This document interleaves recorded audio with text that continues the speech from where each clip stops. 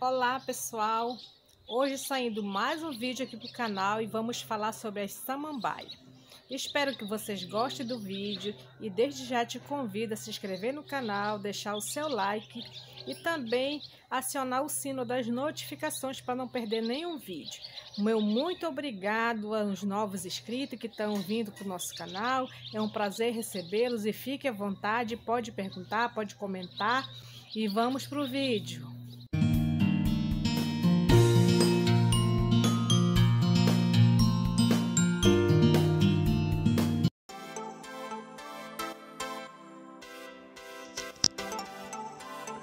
O nosso vídeo vai falar hoje sobre as samambaia.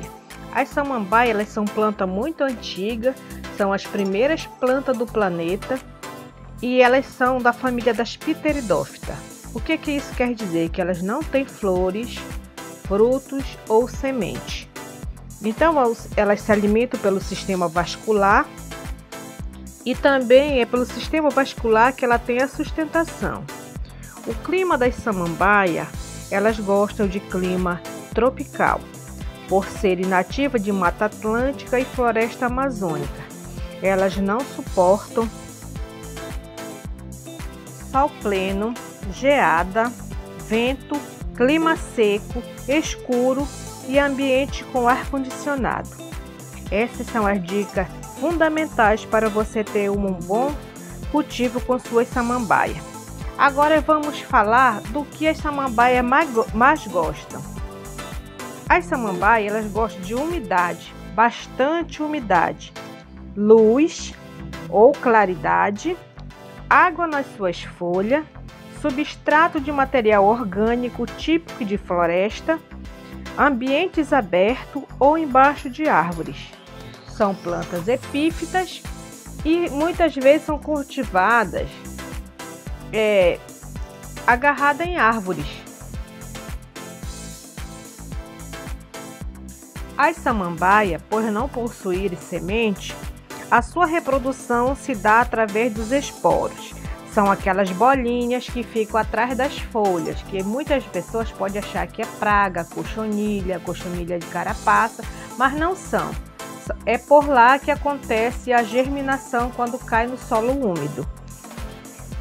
Para você fazer o replantio de uma samambaia, você não vai usar pelo método mais difícil que são dos esporos. Você vai fazer a divisão de toceira. Se você já tem uma samambaia, você vai dividir a toceira e fazer quantas mudas achar necessário. Para fazer o replantio da sua nova samambaia, você vai precisar de um substrato rico em matéria orgânica, fibra de coco, carvão, casca de pinos, terra vegetal adubada. Tudo que vier da natureza será muito bem-vindo. O vaso ideal para plantar samambaia são vasos de fibra de coco, muito encontrado em floriculturas e garden. Mas se você não tiver o vaso de fibra de coco, você pode usar o vaso plástico. Por que o vaso plástico? Porque esse vaso ele retém mais a água e como a samambaia gosta de água, é um vaso que melhor ela se adapta. Após o replantio da sua samambaia, você vai entrar com adubação. A adubação precisa ser rica em nitrogênio porque a samambaia não tem flores, mas é a sua decoração é a folhagem. Então as folhagens precisam estar bem ativa, bem verde, bem nutridas e, e bem saudáveis. Essa mudinha eu plantei na, na, na própria casca do coco. Primeiro eu deixei de molho para tirar o tanino e depois fiz o plantio. Ela está se adaptando muito bem. Antes que vocês me perguntem qual adubação eu devo usar, eu vou aqui recomendar algumas que eu uso e que faz muito efeito. Humus de minhoca, torta de mamona, água de arroz, aquela água que você lava o arroz e você pode colocar na sua samambaia. Ela vai manter sua samambaia sempre saudável e sempre verde. NPK para folhagem.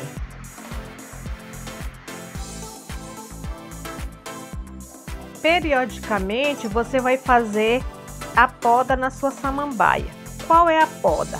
A poda é retirar folhas é, amarelas, folhas secas, folhas que não estão mais nutrindo a planta. Você sabe que planta que está com folha seca, ela está gastando energia à toa, porque ela não está mais nutrindo a planta. Então essa é a, essa é a poda de limpeza. E agora eu vou deixar com vocês imagens do local onde eu visitei as samambaias aqui na minha região. Espero que vocês gostem.